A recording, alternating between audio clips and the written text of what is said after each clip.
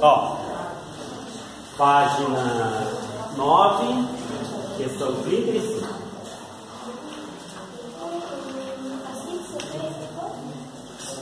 Ó.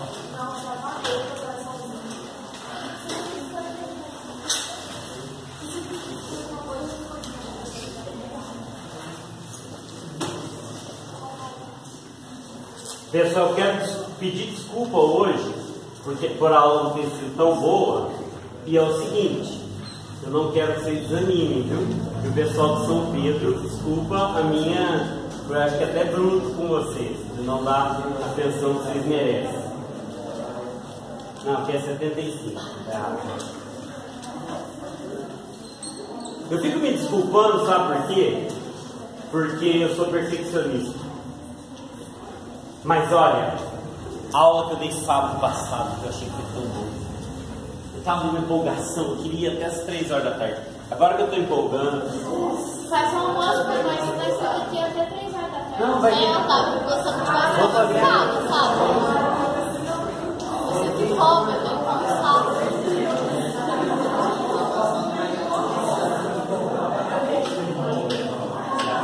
Ó, eu quero achar a área daquele loucura aqui.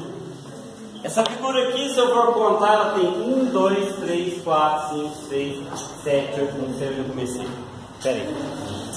Essa figura tem 1, 2, 3, 4, 5, 6, 7, 8, 9, 10, é um decágono.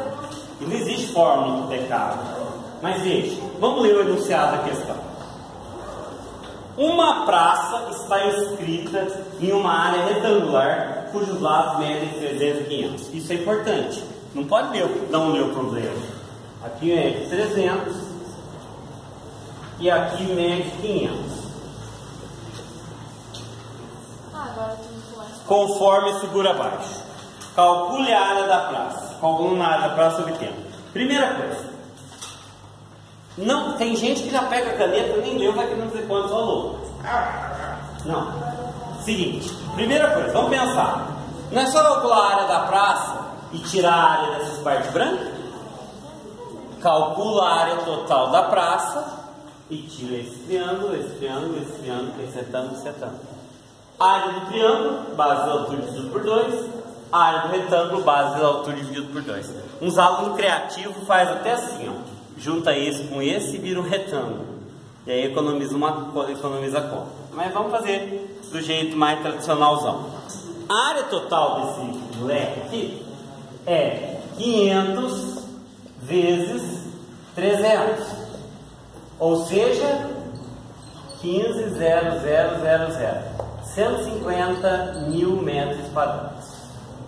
Certo? 150 mil metros quadrados. Mas eu vou tirar esses pedaços. Então vamos calcular. Quanto que mede esse pedaço aqui? 100. Vamos fazer bonitinho, igual aluno de Olimpíada? Você escreve lá área 1, área 2, área 3, área 4. Então a área 1 é 100 vezes 50. 5 mil. Certo? Quanto que é a área 2? Quanto que é a área 4, Léo? 5 mil. A mesma, não vou pôr de novo, deixa eu pôr aqui na frente. Área 4, 5 mil. Quanto que é a área 2? 150 vezes 75 dividido por 2. 5.625. 1.625. 5.625. Só errei para ver se estava com atenção. E a área 3 também é 5.625. Vamos somar tudo esses buracos. Área 1 mais área 2 mais área 3 mais área 4. Quanto que dá essa soma? 5 mil mais 5 mil mais 5 mil? 21 mil. 21 mil e 250? Quanto que dá? Quanto que é 625 mais 625? 1250. 21.250. Concorda que deu essa soma? Agora vamos entender. O que, que é o 21.250? A soma dos buracos. Certo? E a área total é o quê? Como não vou escrever na parede, ah, vou escrever aqui.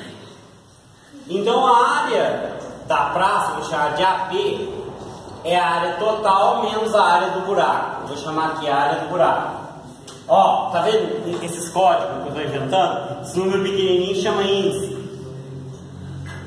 Para pôr isso em lápis é só pôr um underline e o P. Certo? Quem for editar em lápis. Tá? Editor de equação do Word funciona também.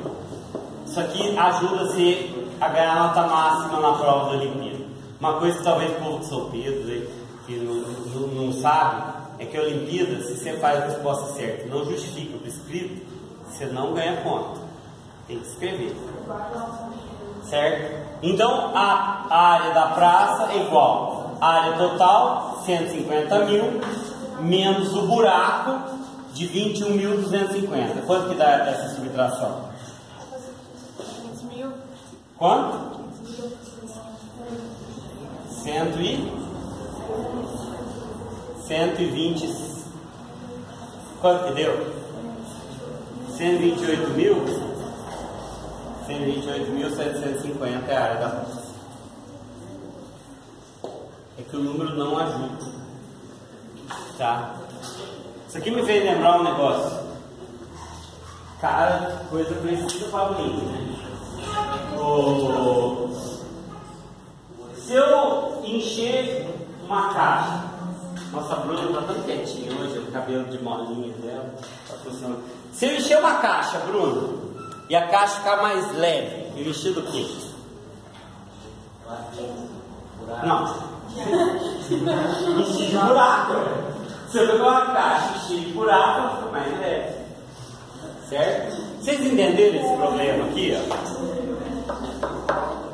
Esse problema é muito importante. Tá?